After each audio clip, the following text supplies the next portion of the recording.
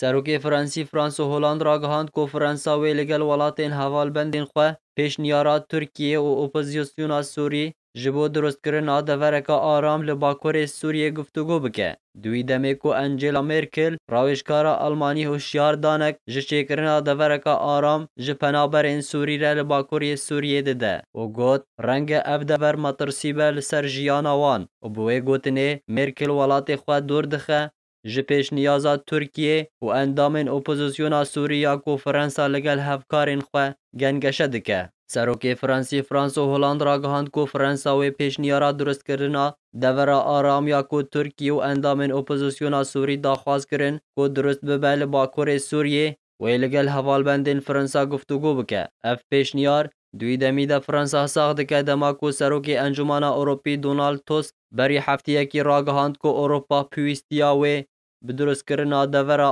aram li Bakurê Sûriyê nîne. Holand bîrokeya devera aram sax dike piştî ku êrişên asmanî li gel hêzên hevpeymaniyê li ser deverên Daeş kirin li Sûriyê. Her wiha nîzîkbûna Fransî û Tirkî li ser bîrokeya avakirina devera aram li gor berpirsên ji her کو دورا آرام و اعزاز تا